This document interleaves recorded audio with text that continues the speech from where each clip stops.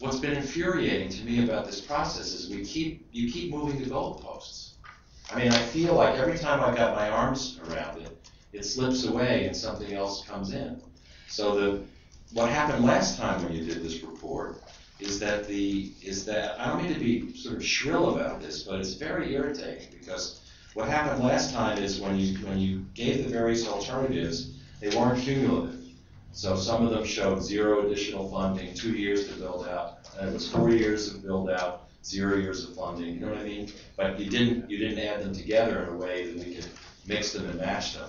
Now you've added them together and you drop in the miscellaneous, which is a self-perpetuating funding requirement.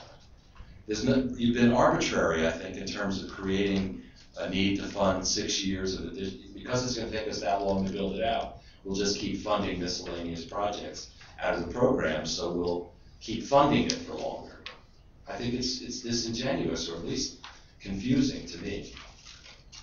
Would you like me to respond? Um, I would agree with you. I believe this was probably an oversight on our part. It's a, it's a catch-all slush fund that's covered now from that utility surcharge. Well, don't call it a slush fund. Well, I'm calling, I'm calling it that intentionally, because that's what it is. It's a series of pickup, I'm not saying it not a value, but it's a way to pick up a series of important and valuable and appropriate projects, but not having to do necessarily with what's understood to be the undergrounding process as it relates to doing these, these class one streets. So I call it a slush fund because that's what it is. And I object to it. And I certainly object to rolling it up and making it a nine million dollar number, which then creates the need to, you know, I mean, the whole thing seems so circular to me that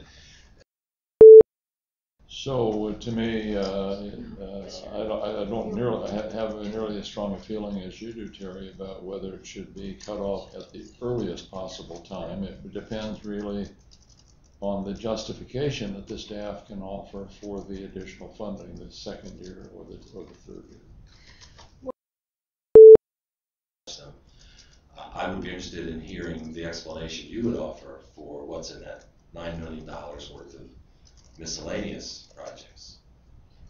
It's not two hundred thousand miscellaneous projects, you know, I mean, it's a project that's bigger than all of three of the, of the listed projects.